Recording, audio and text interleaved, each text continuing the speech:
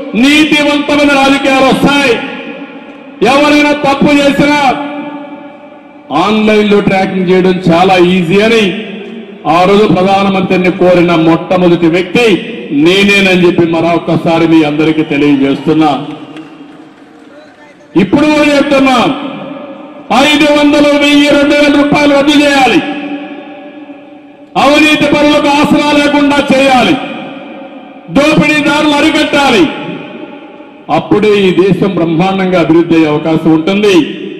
అలాంటి వ్యవస్థకు మనం శ్రీకారం చుట్టాల్సిన అవసరం ఉంది. ఇక్కడికి వచ్చినప్పుడు మళ్ళీ నేను మిమ్మల్ని ఉందని ఒకటే కోరుతున్నా. ఏడు మండల పార్టీ ఉంది. ఇంకో పక్కన మున్సిపల్ పార్టీ ఉంది. ఇంకో పక్కన క్లస్టర్ ఉంది యూనిట్ ఉంది బూత్ ఉంది. ఇన్ఛార్జెస్ అందరినీ ఒకటే కోరుతున్నాను. ప్రజాస్వామ్యంలో పార్టీ యంత్రాంగం చాలా ముఖ్యం. ప్రజలు ఓటేయాలనుకున్నా ఆ ఓటు ఇప్పించే శక్తి ఆ ఓటు వేయించే వ్యక్తి ఈ తెలుగుదేశం పార్టీ నాయకులే కార్యకర్తలే ఈ విషయం మనం గుర్తుపెట్టుకోవాల్సిన అవసరం ఉంది. రెండోది మనం ఆలోచించినప్పుడు ఎక్కడికక్కడ సమర్థవంతమైన నాయకుల్ని మనం ఎంపిక చేసుకోవాలి. ఒక నియోజకవర్గంలో సమర్థవంతమైన వ్యక్తి ఉంటే నియోజకవర్గం ఇబ్బంది ఉండదు. అక్కడి నుంచి కిందికి వచ్చినప్పుడు పదకొండో పన్నెండో క్లస్టర్స్ ఉంటే పదకొండు పన్నెండు మంది కూడా సమర్థవంతమైన వ్యక్తులు ఉంటే కింది వరకు సుజావుగా ఉంటుంది. తర్వాత యాభై అరవై యూనిట్లుంటే ఆ యాభై మంది అరవై మంది అక్కడ ఉండే వ్యక్తుల్లో సమర్థవంతమైన వ్యక్తినే మనం పెట్టుకోగలిగితే దాని కింద కూడా ఐదు వేల ఓట్లు చాలా సుజావుగా ముందుకు పోతాం. ఒక పక్క ఇది చేస్తూనే బూత్ వరకు కుటుంబ సాధికార సారథి వరకు చేస్తూనే మీలో ఇంకా సమర్థత పెంచే విధానానికి శ్రీకారం చుట్టాలి. నేను ఈ మాట ఒకటే వాడుతున్నా. అన్ని తెలుసని హంభావు ఉండే వ్యక్తికి పతనం ప్రారంభమవుతుంది. నేను నేర్చుకోవాల్సింది ఇంకా చాలా ఉంది. అనునిత్యం విద్యార్థిగా ఎవరైతే ఆలోచిస్తారో వాళ్ళు జీవితంలో ఏదైనా సాధించే అవకాశం ఉంటుంది. అందుకే నేను చాలాసార్లు చెప్పా నేను అనునిత్యం విద్యార్థిని. మీరు ఈరోజు ఒక విషయం చెప్తే బాగుందనుకుంటే రెండో రోజు దాన్ని అమలు చేయడానికి ప్రయత్నం చేస్తాం. నేర్చుకోవడం అనేది మన బాధ్యత. అందులో ప్రజాస్వామ్యంలో ఒక బాధ్యత తీసుకున్న వ్యక్తులు మనందరం. ఆ బాధ్యత సమర్థవంతంగా పనిచేస్తే పార్టీకి ప్రజలకు రొంటికి ఉపయోగపడే పరిస్థితి వస్తుంది. ఇప్పుడు మనందరం కూడా టెక్నాలజీ ఏజ్లో ఉన్నాం. మీ సెల్ ఫోన్ ఉంది. నాకు బాగా జ్ఞాపకం. నేను మొదట మొదటగా ఇరవై ఐదేళ్ళ మునుపు సెల్ ఫోన్ గురించి మాట్లాడుతూ అందరూ ఎగతాళి చేశాను ఏమన్నారంటే సెల్ ఫోన్ భోజనం పెడుతుందా? తిండి పెడుతుందా? అని అన్నారు. నేను ఆ రోజు చెప్పా ఈరోజు మీకు అర్థం కాదు. నా విజను ఇరవై ఐదు సంవత్సరాల తర్వాత మళ్ళా ఆలోచించండి అని చెప్పా. ఈరోజు సెల్ ఫోన్ లేకపోతే భార్య భర్త కూడా విడివిడిగా ఉండగలుగుతారు కానీ భార్య భర్త విడివిడిగా ఉన్నా ఉంటారేమో కానీ సెల్ ఫోన్ లేకపోతే మాత్రం భార్య ఉండలేరు భర్త ఉండలేరు అలాంటి నిత్యావసర వస్తువుగా మారిపోయింది సెల్ ఫోన్. ఎక్కడికక్కడ కమ్యూనికేషన్ సాధనంగా మారింది సెల్ ఫోన్. ఐటీ వల్ల మీరు ఒకసారి చూస్తే ఊర్లో కూర్చొని నేను ఈరోజు ఉదయం వస్తూ ఉంటే మంగళగిరిలో ఒక ఫ్యామిలీ వచ్చారు. వాళ్ళతో మాట్లాడుతుంటే భార్య భర్త. భర్త బిఈ చేశాడు. భార్య ఎంటెక్ చేసింది. భర్త బీటెక్ భా- భార్య ఎంటెక్ నేను అడిగాను భర్త నువ్వేం చేస్తావా? అన్నాను. నేను వ్యాపారాలు చేస్తున్నాను సార్ అన్నాడు.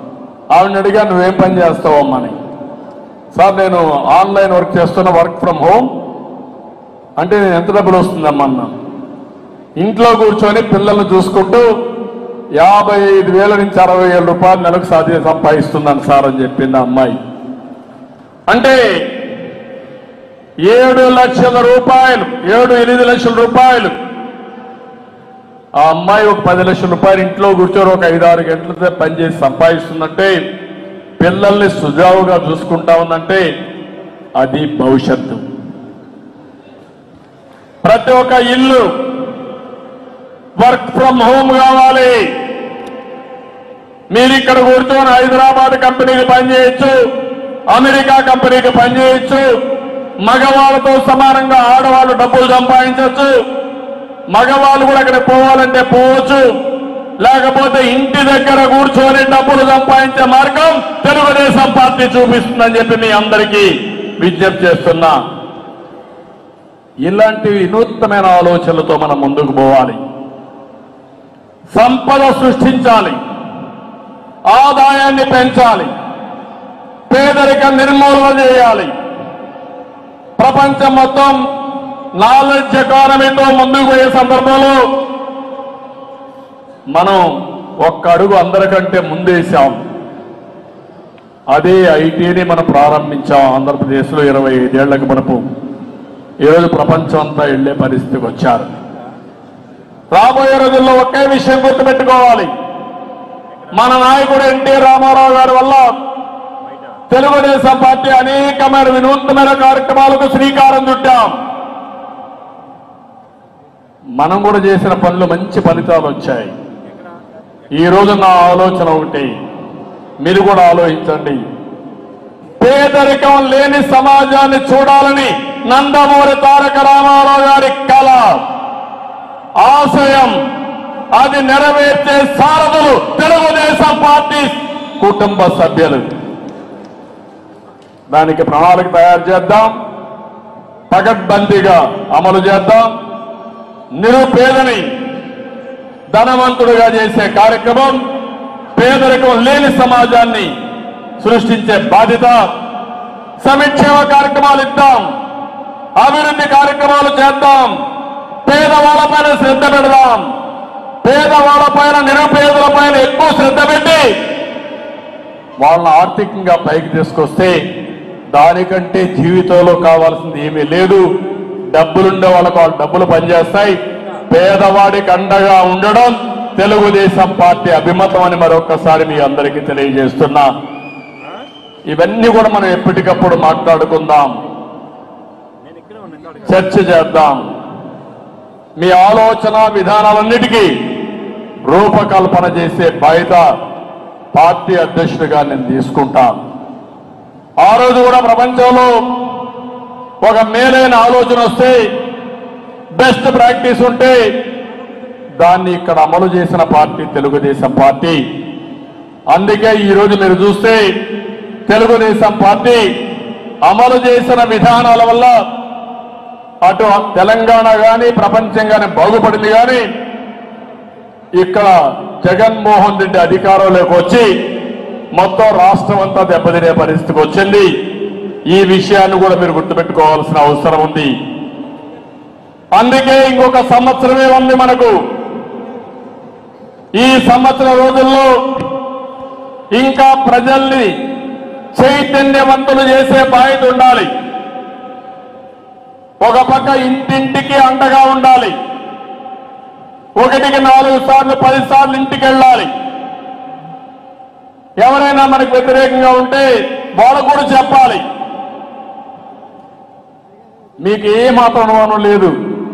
ఎప్పుడు ఎన్నికలు పెట్టినా ఈ జగన్మోహన్ రెడ్డి ఆలోచిస్తున్నాడు. ఒకవేళ తెలుగుదేశం పార్టీ బలపడుతుంది కాబట్టి ఏ నవంబర్లోనో డిసెంబర్లోనో ఎన్నికలు పెట్టాలనుకుంటున్నాడు పెడితే రాష్ట్రం మొత్తం స్వీప్ చేసే పార్టీ ఏకపక్షంగా గెలిచే పార్టీ తెలుగుదేశం పార్టీ. దానికి కూడా మనం సిద్ధం కావాలి. ఎలాంటి ఛాలెంజెస్ వచ్చినా దానికి సిద్ధం కావాలి. ఇదే కర్మలో మేము ఇక్కడ పద్నాలుగు పాయింట్లు ఇచ్చాం. ఇంటింటికి వెళ్ళమన్నాం. మేము ఒక ఫామ్ ఇచ్చాం. దాంట్లో ఐడెంటిఫై చేయమన్నాం. అవన్నీ కంప్యూటరైజ్ చేస్తున్నాం. కంప్యూటరైజ్ చేసి వాళ్ళు కూడా కమ్యూనికేషన్ ఇస్తాం. మీరు మా నాయకులు వచ్చినప్పుడు ఈ సమస్యలు చెప్పారు. ఈ సమస్యలు పార్టీ పరిశీలనలో ఉన్నాయి. రేపు ప్రభుత్వం వచ్చిన వెంటనే మీ సమస్య పరిష్కారం చేస్తామని మీ తరఫున పార్టీ హామీ ఇస్తామని మరొకసారి మీ అందరికి హామీ ఇస్తున్నా. ఇది మీ గౌరవాన్ని పెంచుతుంది. రేపు గవర్నమెంట్ వస్తానే ఒక మంత్రిని పెడతాం. ఈ పనులన్నీ పూర్తిగా చేసే బాధ్యత మీరిచ్చిన హామీల్ని నెరవేర్చే బాధ్యత తెలుగుదేశం పార్టీది. ఆ విధంగానే ఎలక్షన్ మేనిఫెస్టో కూడా ఉంటుంది. దానికి తగిన విధంగా రూపకల్పన చేస్తాం. నేను ఇంత మునుపు చెప్పాను ఒక పక్కన వ్యక్తిగత సమస్యలు ఇంకో పక్క సామాజిక సమస్యలు గ్రామ సమస్యలు. అవి కూడా మీరు రికార్డ్ చేస్తున్నారు. ఇంకో పక్క రాష్ట్రంలో ఉండే రాజకీయ పరిస్థితులు కూడా మీరు చర్చించాలి. ఈ ప్రభుత్వం వల్ల వచ్చిన నష్టాలు మాట్లాడాలి. రచ్చబండ్లో నలుగురు కలిస్తే మీరు ఇదే విషయం మాట్లాడాలి. హోటల్లో ఎవరన్నా ఐదు మంది కూర్చుంటే మీరు మాట్లాడాలి. పెళ్ళికి పోతే ఆ పెళ్ళిలో కూడా మీరు మాట్లాడాలి. పది మందిని మీరు నెట్వర్క్ చేయాలి. పది మందిని ప్రభావితం చేసే విధానంతో మీరు ముందుకు పోతే అది ఒక వేవుగా క్రియేట్ అవుతుంది. ప్రింట్ మీడియా ఉంది ఎలక్ట్రానిక్ మీడియా ఉంది ఇప్పుడు సోషల్ మీడియా వచ్చింది. మీ అందరు కానీ సోషల్ మీడియా కానీ వాడుకుంటే మీరే మీడియాకు ప్రతినిధులుగా తయారయ్యే పరిస్థితి వస్తారు. మీకు అందరికీ తెలివితేటలున్నాయి పెద్దగా దీనికి రీసెర్చ్ కూడా అవసరం లేదు. ప్రజలు కష్టాలు ఏమున్నాయో వాళ్ళ దగ్గరనే ఒక వీడియో తీసుకుని దాన్ని మీరు కానీ ఎడిట్ చేయగలిగితే మీరు చేయడం లేకుంటే పార్టీకి పంపిస్తే మేము ఎడిట్ చేసి పంపిస్తే మీ గ్రామంలో కానీ మీ మండలంలో పెడితే అది వైరల్ అవుతుంది. పది మందికి తెలుస్తుంది. దానివల్ల ప్రజల్లో చైతన్యం వస్తుంది. ప్రభావితం అవుతారు. ఇది మనకందరికీ చేతనైన పని. ఒక్కొక్కసారి మీ ఊర్లో ఉండే సమస్యల పైన మీరే ఒక చిన్న స్క్రిప్ట్ తయారు చేసి ఆ విజువల్స్ తీసి మీరు పెట్టగలిగితే ఆ రోడ్డు ఎట్టుంది? పారిశుభ్రం పారిశుభ్రత ఎట్లుంది? పరిశుభ్రత ఎట్లుంది? వాళ్ళు చేసే అవకతవకలు ఎట్లున్నాయి? రైతులు గిట్టుబాటు ధర రాకుండా ఆర్బీకేలు ఏ విధంగా నాశనం చేశారు? ఇలాంటివన్నీ మీరు కామెంట్ చేసి పెట్టగలిగితే రెండు విషయాలు. ప్రజలకు అండగా ఉన్నారనే ఫీలింగ్ వస్తుంది. ప్రజల్లో ప్రజా చైతన్యం వస్తుంది. తద్వారా ప్రజల్లో మార్పు వస్తుంది. ఆ మారు ఆ మార్పే తెలుగుదేశం పార్టీకి విజయానికి నాంది పలుకుతుంది. ఈ విషయం మీరు గుర్తుపెట్టుకోవాలి. మూడు వందల అరవై ఐదు రోజులు ఏప్రిల్ పన్నెండో తారీఖున ఎన్నికలు జరిగాయి. ఈ రోజు అప్పుడే మనం వచ్చేసాం. అంటే సంవత్సరం దగ్గర దగ్గర ఉంది. ఈ సంవత్సరం చాలా క్రూషియల్ కూడా మనందరికీ. నలభై రెండవ ఆవిర్భావ దినోత్సవాన్ని తెలుగుదేశం పార్టీ జరుపుకుంటున్నాం. హైదరాబాద్లో ప్యారెడ్ గ్రౌండ్లో మన ఎగ్జిబిషన్ గ్రౌండ్లో ఈ ఆవిర్భావ దినోత్సవానికి నాంది పలికాం తెలంగాణ ఆంధ్రప్రదేశ్ రాష్ట్రాలు రెండు రాష్ట్రాలు కలిపి. ఇరవై ఎనిమిదో తారీఖున పాలిట్ బ్యూరో మీటింగ్ పెట్టుకున్నాం. మేలో మే ఇరవై తారీఖున మన నాయకుడు నందమూరి తారక రామారావు గారు జయంతి ఉత్సవాలు వంద సంవత్సరాల జయంతి ఉత్సవాలు మనం జరుపుకుంటున్నాం. ఒక యుగ పురుషుడు పుట్టిన గడ్డ తెలుగు జాతి ఉన్నంత వరకు గుర్తు పెట్టుకునే ఏకైక వ్యక్తి నందమూరి తారక రామారావు గారు.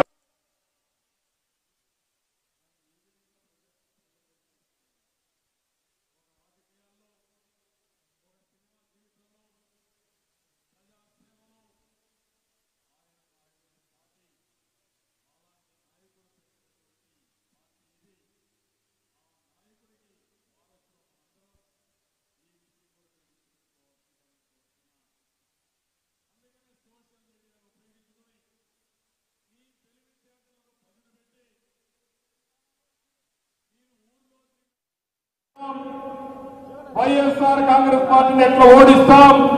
ఓడించడం కాదు మీరు చేయాల్సింది.